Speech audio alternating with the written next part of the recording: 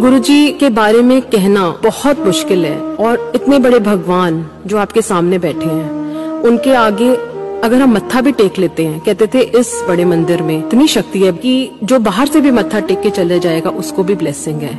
कहते थे, शिवलिंग में इतनी शक्ति है कि बारह ज्योतिर्लिंग में जो मनोकामना पूरी नहीं होगी, वो इस जगह पे पूरी होगी, क्योंकि यहाँ इतना तप और इतना पाठ गुरु जी ने किया हुआ है। Bada Mandir is the most blessed place with such positive vibration you are healed at every level of your life and guru ji कहते थे कि व्रत ना करो फास्टिंग ना करो उन्होंने सब वहमों से बाहर निकाला क्योंकि वो कहते थे भूखे रहंदो ਤੁਹਾਨੂੰ कदे रब नहीं मिल सकता कहते, रेखी गुरुजी ने मना करी पास लाइफ रिग्रेशन गुरुजी ने मना किया बिकॉज़ इज़ पुट्ठे काम कर दो.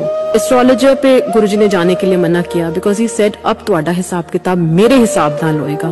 गुरुजी ऐसे भगवान है जो आपको ज़िंदगी दे सकते हैं। जो हम ये शिव ओमकारा आरती करते हैं, ये भी हम गुरु को एक छोटे स्थान पे बैठाते हैं। गुरु महाशिव है, वो भगवान है, वो इतने बड़े भगवान है। अगर हम गुरु को मत्था टिकते हैं तो पूरे ब्रह्मांड को मत्था टिकता है। वो कहते थे, सारे देवी देवता मेरे को ही नमस्कार करते हैं। कहते, सारा सूरज मैनू नमस्कार करके उगदा है। तो इतनी बड़ी बात कह रहे थे, लोग मूर्तियाँ मत्थे टेकते ने तो शिव सामने बैठा। Guru ji is that Om that Omkar that light that energy जो इस दुनिया को संभालती है। And we are all very lucky that we have come under his sharan ऐसे बहुत सारे मेरिकल्स हैं जो गुरु जी के साथ मैंने एक्सपीरियंस करे। मेरी पूरी ज़िंदगी एक मेरिकल है। और I can write a book on guru ji.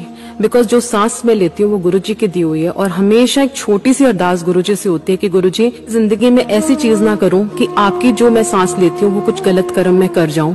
तो गुरुजी आपके कॉन्शियस में बैठे हुए हैं, आपके अंदर बैठे हुए हैं। तो गुरुजी ने हमें इतनी सारी चीज़ें सिखाई, कहते थे, चलते, फिरते, उठते, बैठते तुसी पाठ कर सकते हो। ज़रूरी नहीं है कि आपने कोई रिचुअल्स में पढ़ना है, कि सुबह हमें उठ के पहले नहाना है, हमें अगर बत्ती जलानी उन्होंने सब रिचुअल से हमें हटा दिया। कहते थे, ओम नमः शिवाय शिव जी सदा सहाय, ओम नमः शिवाय गुरु जी सदा सहाय। ये एक महामंत्र है और एक ये डेड बॉडी को भी अलाइव कर सकता है। और उन्होंने कोई सिस्टम नहीं बांधा कि कब पाठ करो।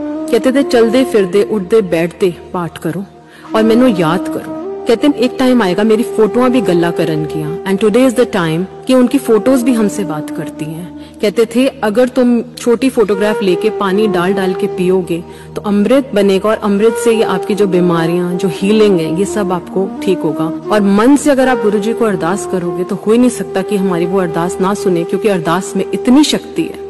इतनी शक्ति है कि मैं आपको बता नहीं सकती।